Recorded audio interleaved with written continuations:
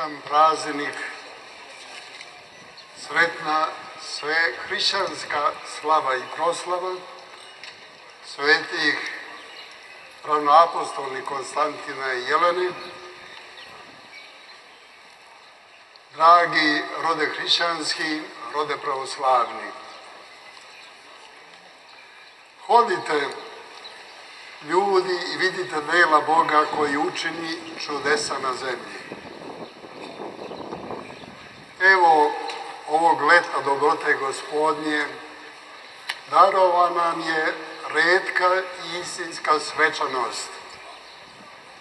Dato nam je da proslavimo hiljadu i sedamstotina godina od dana kada je promisao Božiji progovorio kroz svetoga cara Konstantina i dao slobodu i silu veri hrišćanskoj. Zaista je ovo posebno leto i poseban jubilej. Jer sveti car Konstantin ne bejaše običan rimski imperator poput drugih. Njegova pobjeda ne beše pobjeda poput drugih.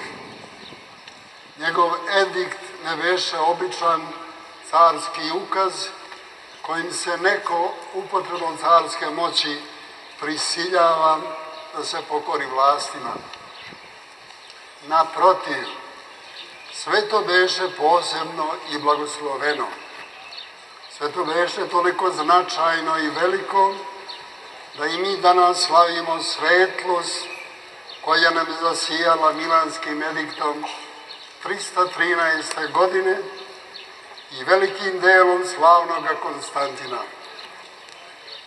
Iako sva hrišćanska vaseljena slavi, mi, pravoslavni hrišćani, a pogotovo verni narod naše svete pomesne crkve, slavimo sa umnoženom radošću jer slavimo sazivača prvog Vaseljenskog sabora, našeg sugrađanina, čoveka cara, koji su podigle naše ruke i naše ravnice, grejalo naše sunce i odhranila naša zemlja.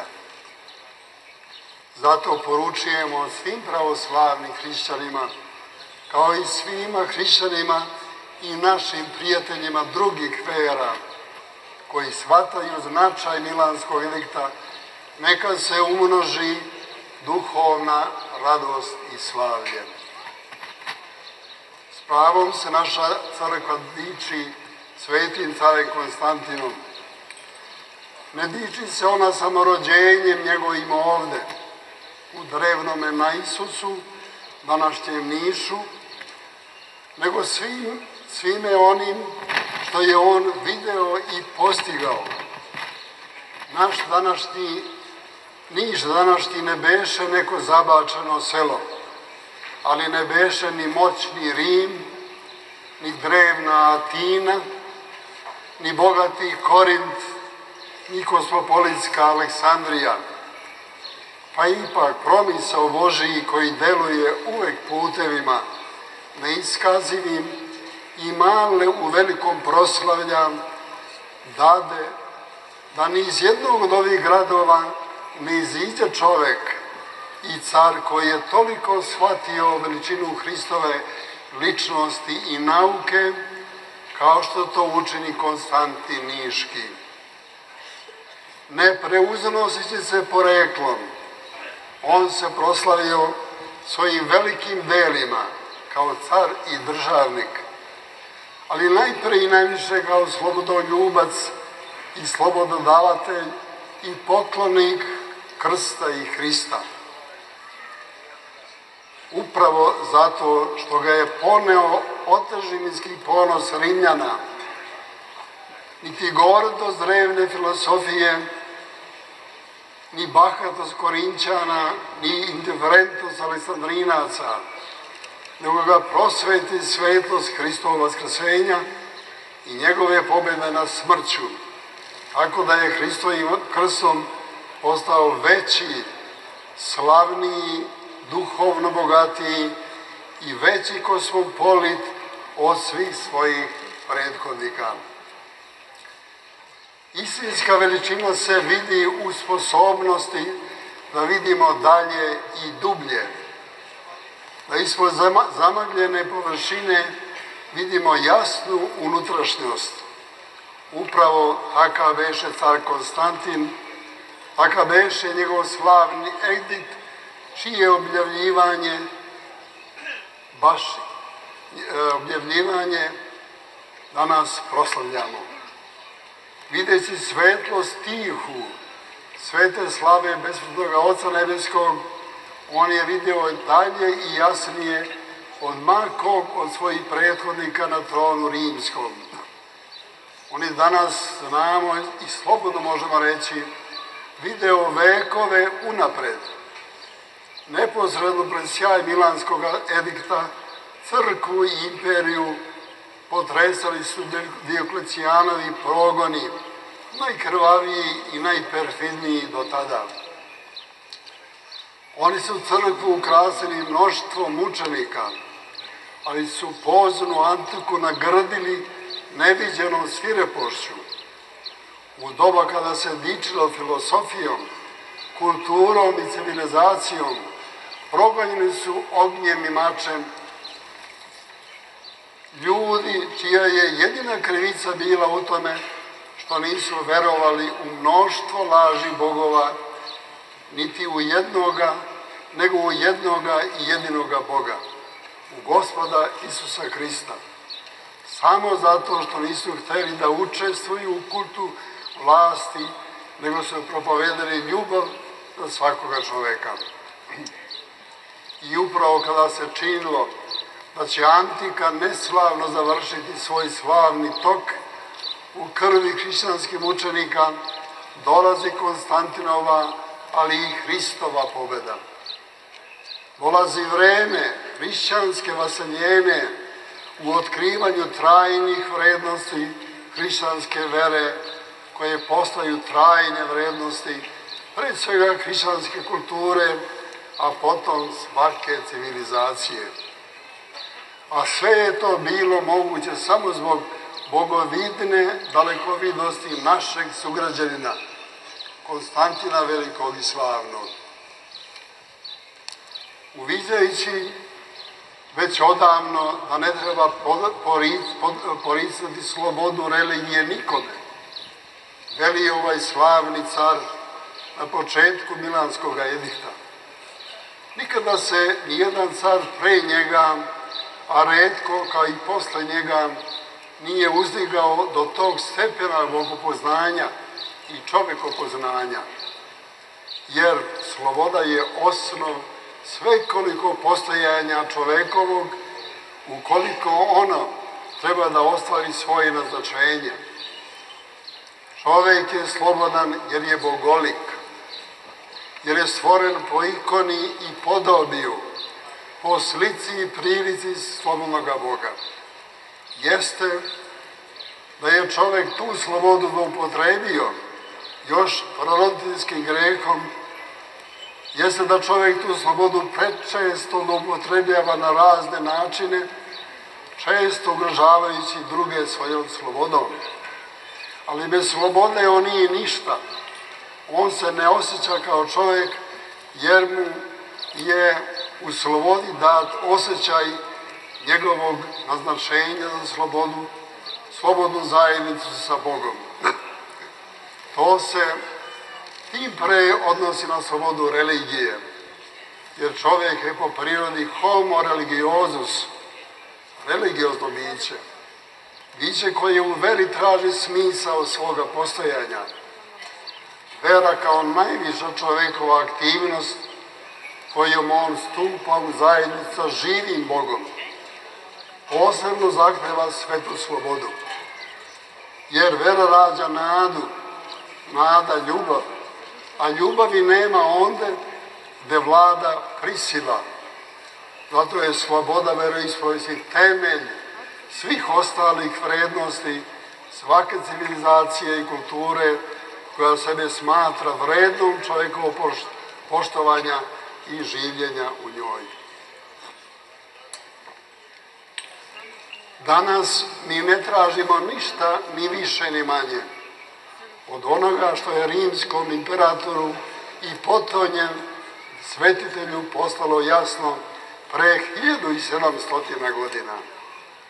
A to je osnovna činjenica da je čoveku neophodno omogućiti da slobodno i od koga ometan veruje i ispovjeda onako kako mu srce želi i savest nalaže. Nisu tako daleko bila vremena kada ovo nije bilo moguće. Nisu tako daleka od nas prostori gde je ovo i danas moguće. Ali mnogi ostupaju od vere ne pitajući sebe o smislu života u društvima koja nude takozvani bolji život. Sveti car Konstantin Niški znao je da oba ova iskušenja prete da, da unište ne samo veru, nego i društvo. Jer društvo bez osnovnih vrednosti samo je ponešto bolje regulisan čopor vukova.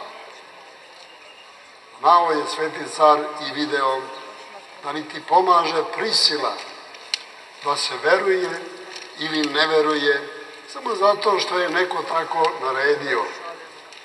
Znao je da nije jedno društvo neće preživeti ako ne dozvoli svakome svome građaninu ono osnovno, veru i slobodu.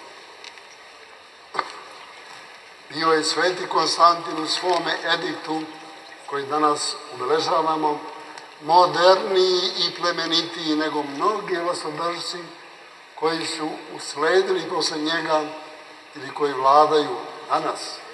Kada su milioni hrišćana u svetu ugroženi, imajući slobodu deteta Božijeg, on je znao na kojim vrednostima se može osnovati grad. Potekavši iz Niša, sa raskrsnice istoka i zapada, znao je dobre strane i jednog i drugog. Zato je sagradio prestonicu u svetlosti Novog Siona i toj prestonici podario plemeniti ideal koji društvo može istinski oplemeniti ideal simfonije ili soglasija crkve i države. Znao je sveti car iz svog ličnog iskustva da ne pomažu ni silina vojske i jačina prisile ako se sve ne oseni krstom Hristovim i ne postane Hristonosno. Njegovo viđenje, viđenje pobjede u znaku krsta, jeste program postojanja potonjeg Romenskog carstva, posle njega i program Bizantijskog komonventa, kao i svih nas koji delimo njegovu ubeđenost da Hristos uvek i neizostavno pobeđuje. Njegovo viđenje ubedilo ga je u ono čime su posle njega hiljadu i više godina neprekidno živeli vizantijski carevi, kao i srpski kraljevi i carevi, živu veru da svaki grad i svako carstvo treba da se utemelji u Hristovoj žrtvi i u njegovom vaskrsenju. I mi danas znamo da je usklik ovim pobeđuj trajno upućen ne samo njemu, nego i svima nama. Znamo da je samo u znaku sve pobede moguća svaka pobeda. Konstantinova zagledanost ka istoku jeste ista ona zagledanost sa kojom mi svaki dan iščekujemo javljanje gospoda našega. To je zagledanost u svetu Evharistiju. Nije slučajno veliki Konstantin Milanskim ediktom vratio crkvi sve hramove i sva službena mesta.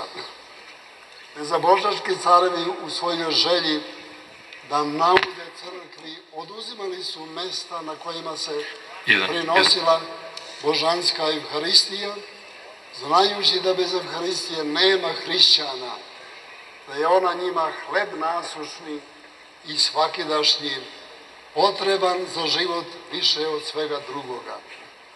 Zato je i dao crkvi da prinosi najveću od svih žrtava i najveći od svih ljudskih prinosa, beskrnu žrtvu Euharistije, prinos nad prinosima. Zato će istinsko proslavljanje Milanskog edikta uvek biti liturgijsko slavlje, liturgijsko osjećanje na istoriju našeg spasenja u Hristu, kao i na njegov slavni drugi dolazak. Imajući, draga čedo duhovna, takvu veličanstvenost naše sugrađanina pred očima i u srcima potrudimo se da ga budemo dostojni. Da se ne ponosimo samo rođenjem u našem gradu i u našoj zemlji, u kojoj se rodio najveći od rimskih careva. On zanadijaše za prave vrednosti, za veru, ljubav i slobodu. Budimo dostojni te vere, te ljubavi i te slobode.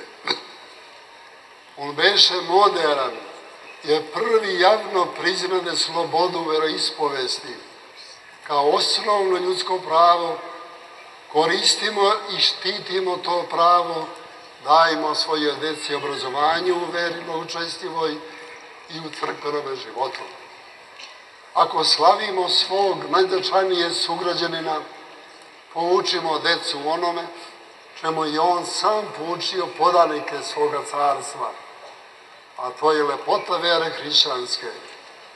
Evo, Konstantin beše svesta vrednosti i jedinstva istoka i zapada, baš kao i sveti Simeon i sveti Slava posle njega, kao i naš veliki i sveti Nikolaj Žički. Kao i svi oci crkve koji su nam govorili da se ne opredeljujemo za nametnute opcije i ponuđene iluzije, nego za carski put iznad istoka i zapada. Ponajpre da razumemo ono što je osnovi Milanskog edikta, a to je suštinsko duhovno jedinstvo jedne države i društva kao osnova svekoliko napretka njegovog. Znao je sveti car Hristove reči da svako carstvo koje se razdeli samo u sebi opusteće i svaki grad ili dom koji se razdeli sam u sebi neće se održati. Ne možemo ni u carstvo nebesko otići sami, nego idemo u zajednici, u crkvi, ljubeći jedni druge. Tim pre je taka, ta povuka za nas i zadatak svih nas kao građana ovoga društva i ove stare evropske države da budemo poput velikog Konstantina mirotvorci, jer ćemo se tako sinovima Božijim nazvati.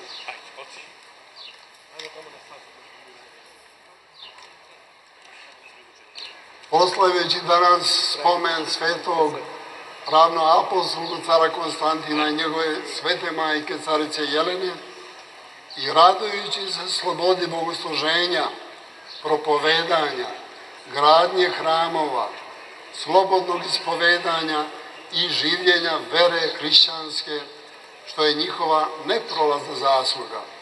Molitvono se sa, sobom, sa bolom i suzama sećamo naše braće i sestara pravoslavnih Srba na Kosovu i Metohiji, na okupiranoj svetoj srpskoj zemlji, kao i krajiški Srba prognani 1995. godine. Svetimo se molitveno i sastradalno i svih današnjih stradalnika u Siriji